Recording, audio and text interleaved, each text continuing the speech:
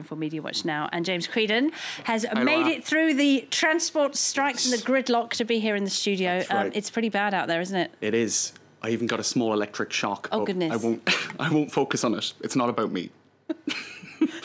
but I was one of the many caught up in this. Yeah, there's been a lot of reaction online. There has. I'll show you some of the images because the travel chaos is part of it. Uh, uh, this is one image uh, that went, went, up on social media today showing uh, people trying to get into a. Oh, horrible. This is a suburban train, it's not the metro. This but the RER, like, right? Absolute mess. I think it was a Transilien, which is goes a little bit further still. These, this is the, the suburban rail network oh. around Paris, and it was just nightmarish oh, stuff. people because trying to get to work. The thing is, last week, uh, a lot of people knew that this was coming. Yeah, they, they took, their days off this week. There was an air of uh, excitement almost. That's right. Wow. It's like, oh, strike. Nothing like that to bring people together, except when uh, no one can get anywhere and gridlock. So a lot of people have been tweeting today about, about their frustrations. I present you with the public transportation in Paris, and you have an empty hand and a pair of shoes. And indeed, people are walking to and from work. Including our very own business correspondent. That's right. She walked all the way across Paris today. Did she? Well done, Kate she, Moody, yeah. She was talking about it. I'm, I, will have to kind of discuss well, with her later. Uh, not the only one, there's other people walking as well. Today's mood as I woke to the lycéens, or secondary school students, across the street singing the Marseillaise and barricading the entrance to the school. So it's not just the rail workers. You never forget it's what everybody. country, do you? That's it.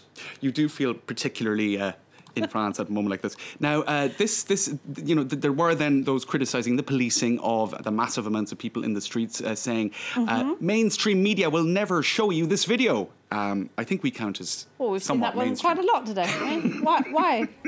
so sorry to disappoint. Oh, what a shot! But uh, we, we, you know, we, we are. Oh, they're saying that we usually only show the violence and the stuff getting smashed up. Yeah. Well, anyway, look, oh, I think I think a lot of those pictures do make it into news bulletins. Eight hundred thousand people, according to the unions. More like three hundred thousand, according to the police. That's right. So, in this one is expected to go on and on. It is indeed. So there's there's a, there's a lot now. Some reporters and journalists covering uh, covering uh, events were unhappy about this as well. Apparently, mm-hmm. several were injured. So the, you have reporters or reporters in angry reporters, reporters en colère, tweeting about that, as well as various other associations uh, saying that it's, injured it's by... a bit injured by. Um, well, what they're saying here, this is Attac France, which is quite a large um, um, association. Twenty-four journalists. In, they're talking about the fifth of December, so last Thursday. Oh, okay. Uh, and they're talking about uh, very, various other uh, aspects of heavy-handed policing. Anyway, that's that's. Uh, the coverage is going global um, mm-hmm. on this. Uh, Laura, this is a piece in the New York Times that went up online last night. What what they're saying is that Emmanuel Macron has really taken a big risk in term in tackling pensions and retirement, which is such a touchy issue. It's never gone at well a time, for anyone, has it? At a time of economic sort of. Uh, yeah difficulty. And so they're, they're being somewhat uh, tongue in cheek here uh, with this headline. With France in uproar over pensions, Macron may need one early.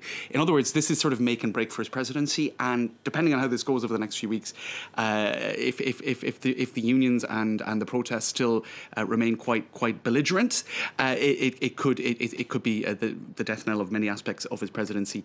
Uh, Who's going to blink first? That's, that's it. But it is a game of chicken. It's a it's a kind of a battle of wills. And we are, of course, coming up to the Christmas holidays. Yeah. Lots of people are hoping to travel. Oh God.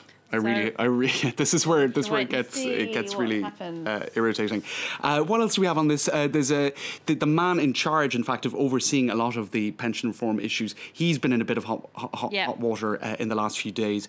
Basically, in his uh, declaration of transparency to the government, he kind of failed to mention that he was on the board of uh, an insurance and an insurance companies, yeah. insurance company. So obviously that's disastrous in terms of the image of the government management of this reform. He's also now stood down from another board where he was earning some five thousand euros a month. So there's an effort, I think, to put out that fire so that uh, reforms can, you know, the, the, the, at least that the government can attempt to push through the reforms. I thought it was worth uh, yeah. worth pointing uh, this out as well.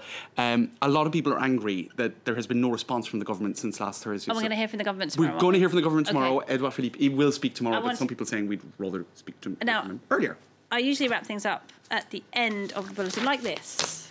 Yes. That's right. My notes. You did that very well. Thank you very much. But some people are not quite so good at it, are they? Well, I thought this was quite quite amusing. It went up on uh, one of my many Twitter talents. earlier. Now, uh, Shuffling you, you've you've heard of. Um, Chris Ship of ITV. He's a royal correspondent, amongst other things. Uh-huh. Now, get a, get a load of this catastrophic paper shuffle Oh, uh, at the end. That's a of cla- that's a bulletin. classic. Now, so he starts off lifting There up the sheets. I'll you know, this, it yeah. looks somewhat promising, Yeah. but then Oh. then you see all of these kind of loose sheets falling. Oh, I hate it when that happens.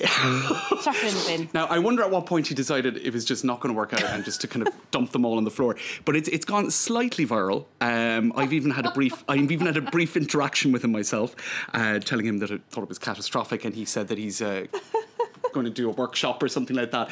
But anyway, it, it is the sort of um, the must-have moment at the end of a news bulletin, That's- and you want to have it well practiced. Do you and remember the? executed? Do you remember the presenter who was standing up by a big screen with what he thought was an iPad, and it was actually a block of printer paper? That was my. Yes, it up. running running to the studio a little bit, uh, a little bit. Uh, But yes, the old paper Late. shuffle. You have to get them in order before you bang them on the desk. that's, it. my There you go. It's all sim- right. simple. James, thank you very much indeed. Good luck Thanks, getting Laura. home tonight. James Creedon there.